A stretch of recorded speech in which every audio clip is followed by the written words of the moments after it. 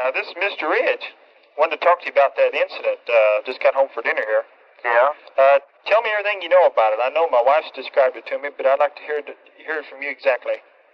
Well, uh, the time this morning is about, uh, oh, it's about 6.50. We was coming home from, coming through Mount Vernon, and, uh, Uh-huh.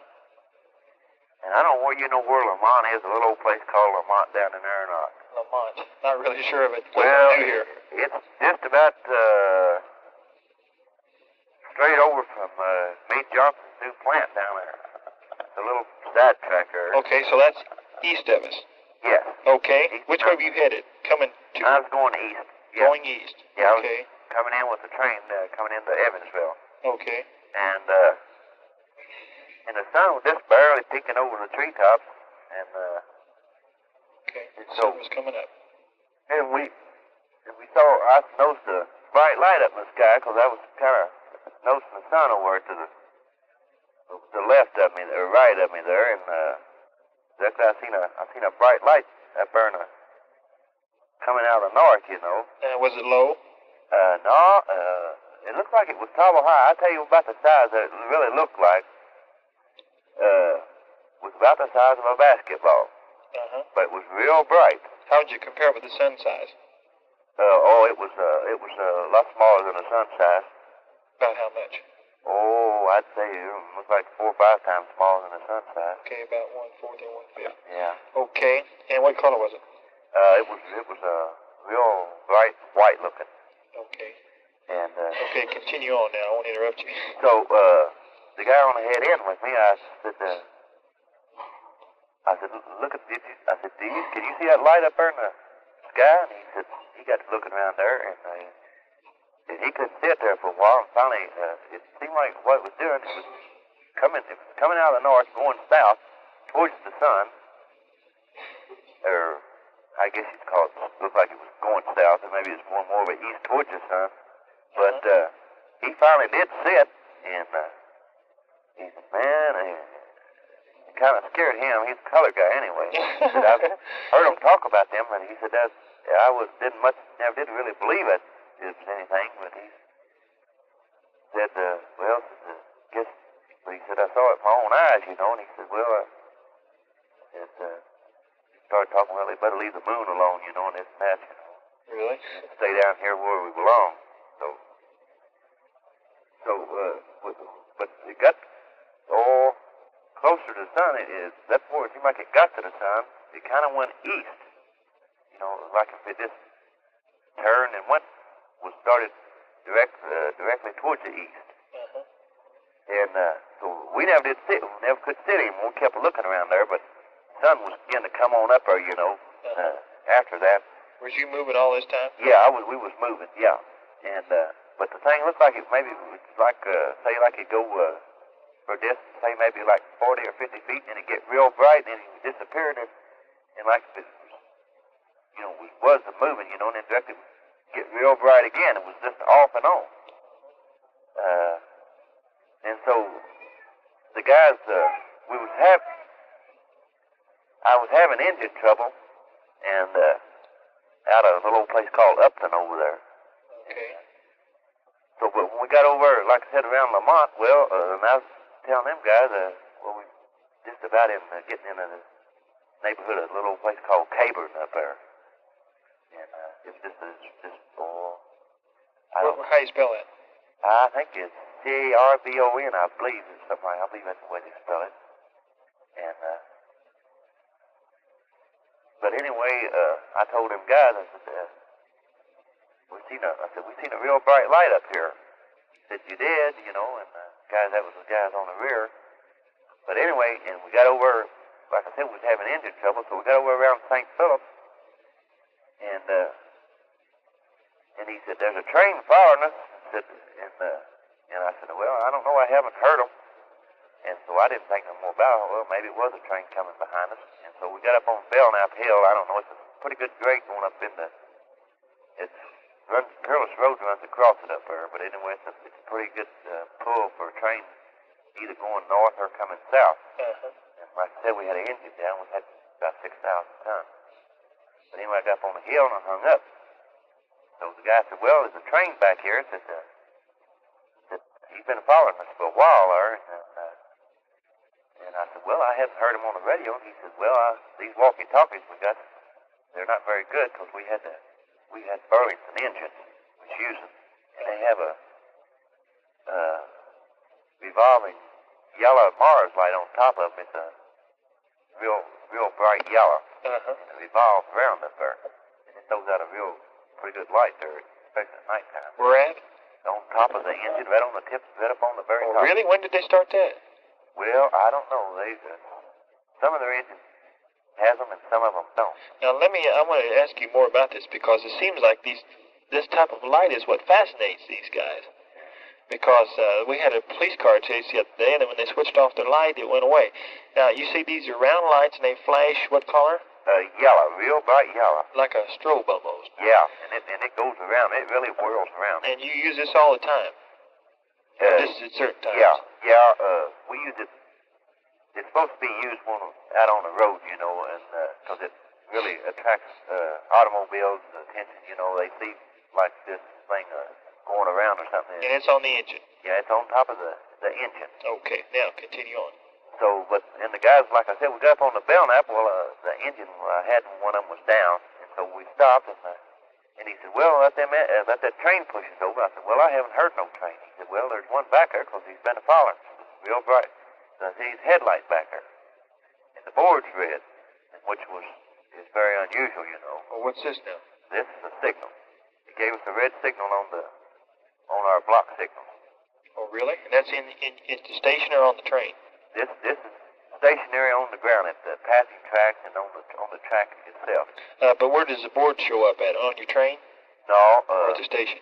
uh, no, it it don't it don't show up. It just uh, in the sand distances. Uh, you know, I mean, it, we can tell what color they are. They're either either green or yellow or red. Oh, in other words, this is on the track. Yeah, this is on the track itself. But anyway, uh, the guy said, "Well, says we, and we, the board's red," and so he says, "Well, uh, call the tire and get the man on." Uh, if there is a train, so I called the man in the tire and I asked him. I said, uh, "Is there a train behind us?" And uh, he said, "What are you talking about?" I said, "Well, you know what I'm talking about. You got a train on the lineup that's supposed to come in here." Uh, he said, "No, there ain't no trains coming." And uh, and I called that guy. I told him, I "I just called uh, uh, Hal Tar down there. To, he's the yard master down there." And I said, uh, "He says they ain't got no train." He says, "Well, there's a." He says, "Well, there's a headlight behind us." He says, I, "He said I can see it. It's real bright." And uh, said, "Well, the man said there wasn't no no train coming, so that's all I know. Cause we was gonna let him push us over, you know. Cause we, I said we had a was over way over tonnage after the engine went down, and we just couldn't make it up." Uh-huh. When was the last you saw of it? Or he saw of it? Well, uh, I, I I really don't don't know when the really the last time he saw it. Uh-huh. How many of you all saw it? Three? Yeah, it was three of us. Yeah. Okay. Yeah. Now, uh, we won't give out any names or anything. There's really no sense in it, really. But um, now I'll ask you this. Is- That's a diesel, right? Yeah. Uh-huh. Okay. Now, when did you start having train trouble? Well, uh, really, the guy that, that was on there, he told me. Now, uh, he he's an older head. He's been around here. I went. See, I went up and, like I said, and got this train. He, Uh-huh. he had been out there. Well, 12-hour law is all we can work. See, Uh-huh. and uh, and they tied up at Upton before they could make it back to Howell without 12-hour law got them. Yeah. So, uh, he says the engine is, your, your rear unit back there is dead. And he says there's no use to go back there and mess with it because he said I've already messed with it. Well, uh, I was, well, uh, I was probably 35 minutes coming from Upton into Mount Vernon, Indiana, which is uh, only about a 10 or 15 minute run over there Hmm. with a normal train. And, uh, so I got out here at Belknap, and after he said there wasn't no train, well, we was going to have to double into Howell, and that'd take oh, an hour and a half, two hours. We going to bring part of it in and go back and get it. Uh-huh. So what we, so the guy said, well, we back down to St. Phillips, and uh, so when we back down there, uh, I told him, I said, I'm going back there and check that engine, and uh, see, see what it looks like and see what's wrong with it. So I went back there and uh, I just turned the engine on and it kicked right off. And uh, and I'd worried all the way to trying to get Mount Vernon to Howell, you know, and then I already went up the top of the hill and couldn't get over. And then was back at, like, like I said, back down to St. Philip. So I went back there. pushed the engine and uh, button, kicked right off. I didn't have any more trouble. It pulled pulled over Belknap real good, and it was still running when I got off in uh, at the Howell Roundhouse. Well, another here's this. And the here- guy said, "Ain't no way that the engine can. There's nothing you do with it because he said I've already messed with it. The guy's been there for 30 some years, and I've only been there about 14. And, and he's pretty good. He's a real good engineer, but he says well, there's nothing you do with the engine because I've already checked it out and it won't start. But anyway, after pulled up on Belknap and back down the hill there, and uh, went back there, and thing kicked right off. Didn't have any trouble with it. Pulled the train on over the hill. Right. who's going to check the engine out now? I wonder. Well, uh, the This guy. is important, really. Huh? This could be pretty important. Well, the guy going to, going to check it out was uh, would be uh, Frank White. Would be one of them. He's an electrician there at Howell. okay, could you let us know what he finds out? Well, Because this could be what affected it. well, We've had so many reports like this, and I'm really interested in, in following it up. well, And also, eh, let us know of anything uh, that, uh, do you know of anything that ca- might cause this red or block signal to come on by itself? no. What's it mean? There's something heavy on the tracks, yeah, or is there's it something heavy electronic on the signal? track. There's something heavy on the track, and it's got to be grounded. And the only trouble that uh, Oh, wait a minute, wait a minute. You say it, it's got to be heavy on the tracks, and it's got to be grounded. it's got to be Well, grounded. what about if there was uh, such as a magnetic field causing the tracks to short out? Would that do it? Well, uh, That'd be a ground. well, there's this possibility, yeah, and something like that. Because that's this guy said, well, there's a train back there because he's got a red board back there, you know. Uh-huh. And I said, Okay. well, the man says there's nothing back there.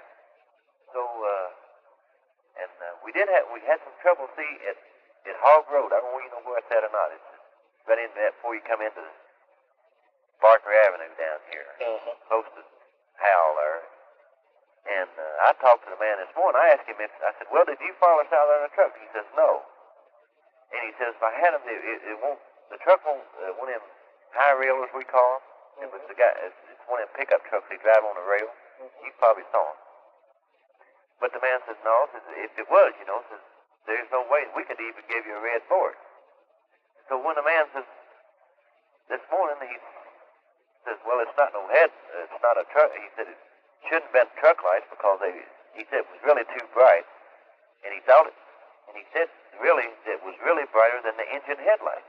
Uh-huh. He could see it back there, see. Yeah. Well, this is really something. I really appreciate you calling. And Uh, so uh, when we started backing up, it seemed like every what it was. He said the board went green. what's like, this mean? Like now? if the if what it was back there had given us a red signal, well, it started in the other direction, and it cleared up the boards for us. And that's what was so amazing. He says that the guy when you backed up.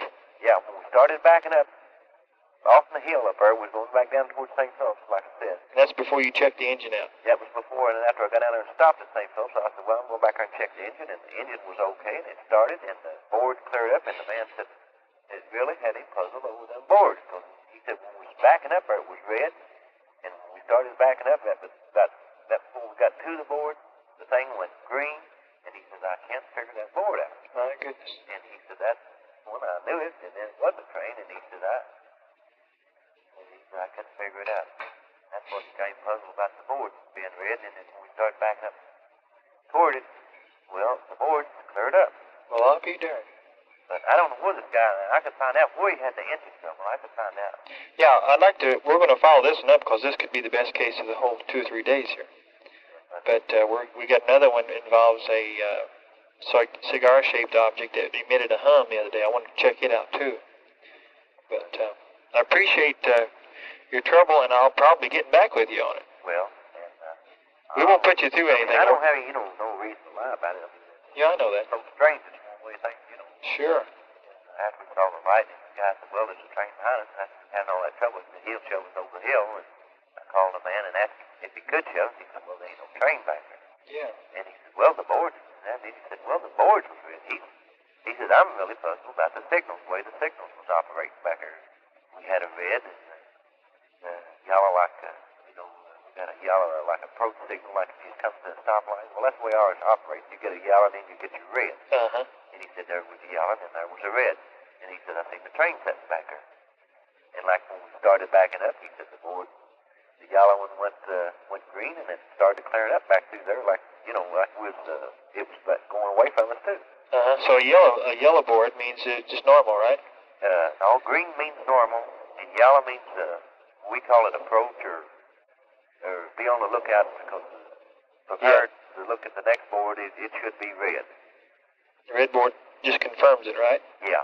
And uh, when we got a green, uh, the first board we'll ever come to should be a yellow one, and maybe the next one will be your red board.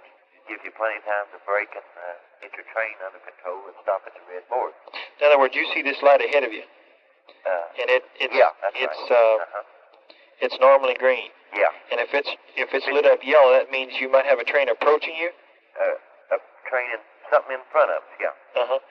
And uh, but this was behind us. See, the guy saw it was behind us. That's weird, isn't it? Yeah, it is. And he said that's he said that's bored. He kept saying. Because I actually, was kidding because he don't hadn't been reading up on this stuff. yeah, and actually, you you caused a kind of a short when you drove over the track, so I don't see how I could have got through there, but sure did, didn't it? And uh, yeah, and uh, he said and board got me confused because he said we had a red one. I seen the lights back there, and it was a red board. And he says I thought it was. A, he said I well I'd have swore it was a train, you know. And I thought no. The man said there wasn't no train. He said well I seen his headlights. Uh, the lights been following us. I said well the man says there's no train back there, so I don't know. Huh. And he says, well, uh, and we had red boards. And he said, when we started backing up, the bo- the red one went to yellow one, and the yellow one we had backing up towards it. He said it cleared up. He said that's what I can't figure out. Huh. Like somebody was going away from it, they knew it was backing up towards it. Huh. Well, I'll be darned. Well, I appreciate talking to you, but I will get back with you. Well, and I I can let you know uh, where the guy had the where the engine trouble started at. But he- Okay. the, the man has been there for thirty some years, and he says there's no there's nothing you can do to do uh, to the engine.